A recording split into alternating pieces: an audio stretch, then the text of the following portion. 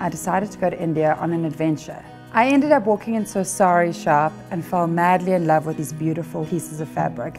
I brought them back to South Africa and I ended up chopping and cutting and creating a glorious kaftan. Everybody wanted one and then I made two and then I made three and now I make at least 40 every week. I cut them all myself on my dining room table. Every single one is a one of a kind, which I think is quite beautiful.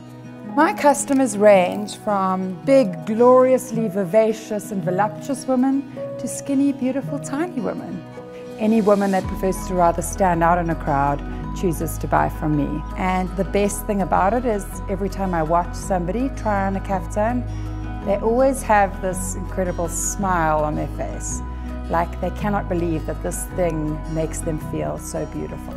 So I always feel quite proud of myself knowing that I can fit everybody. It just fills my soul.